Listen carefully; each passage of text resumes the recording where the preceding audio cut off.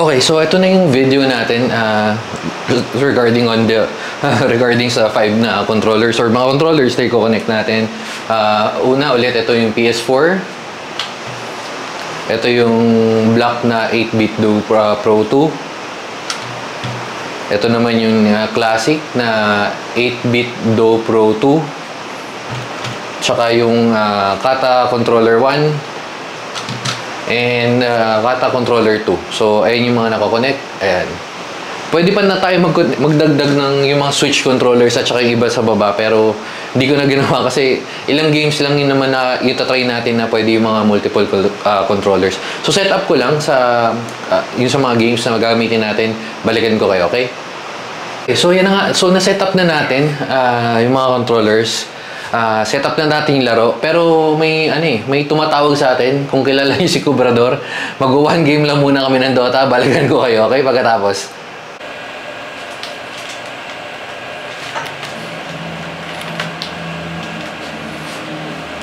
Yun, nice game. Panalo ka agad kami ni Cobrador.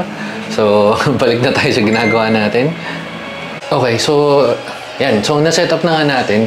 Uh, ito pala, share ko na lang din bago, na, bago tayo mag-start. Itong trackpad ng ano, PS4, uh, ah, mas madali siya gamitin kasi meron rin naman trackpad yung ano, di ba? Yung, uh, yung Steam Deck. Pero ito, mas nagagamit siya parang mouse. Ewan ko, para sa akin ah. So, yun lang, share ko lang. And then, yun nga, punta na tayo sa game. Testing natin.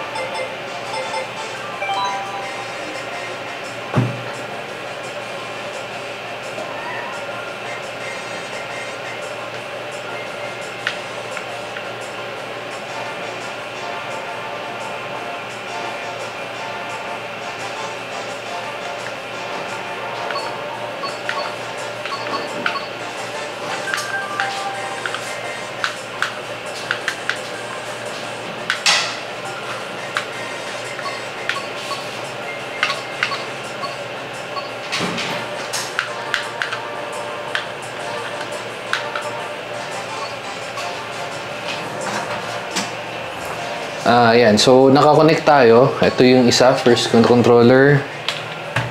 Ito yung second, ayun no, gumagalaw. Tapos yung third. And then yung fourth.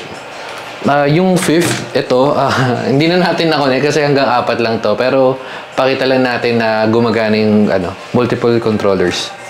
So start na natin.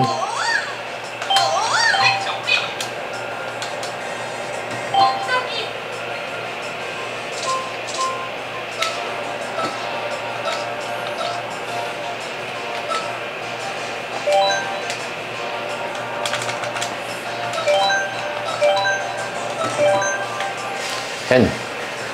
So, syempre, isa lang makokontrol natin, di ba? Pero pakita natin yun na nakakapaglaro tayo ng multiple controllers sa Steam Deck.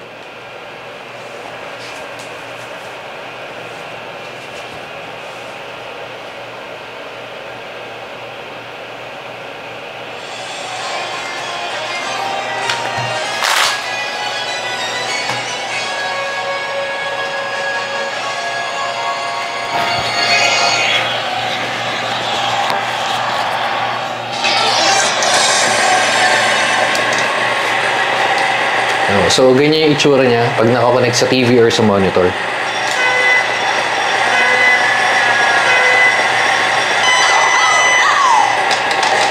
Ano ba ako? Ah, ito. Ito okay, nasa upper left. So, syempre hindi na nakakahabol yung iba, pero okay na yan. Laruin, laruin na lang natin to.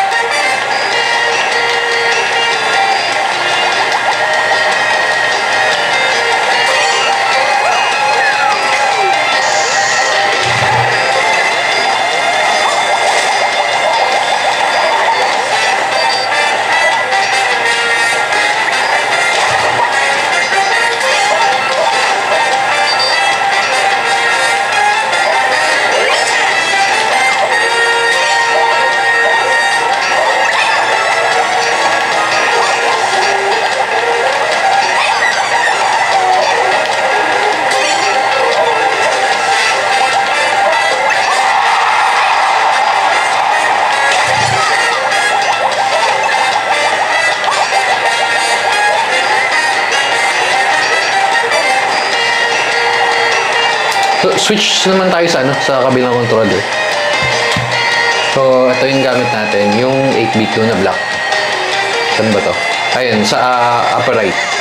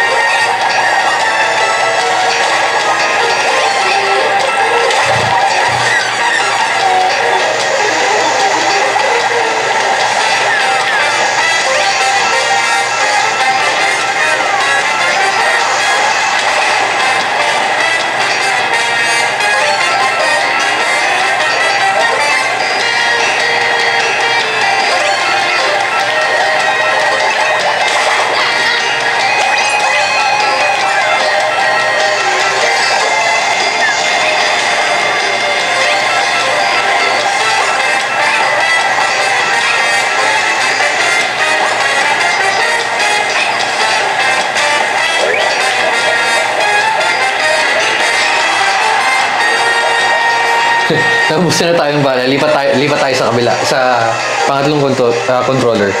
Itong sa 8-bit daw pa rin, pero ito yung, ano, yung classic, yung SNES ah, na parang itsure ng SNES. Wait lang. Ayan, so ito na tayo sa lower left. Lower left, di ba? Ayan, lower left.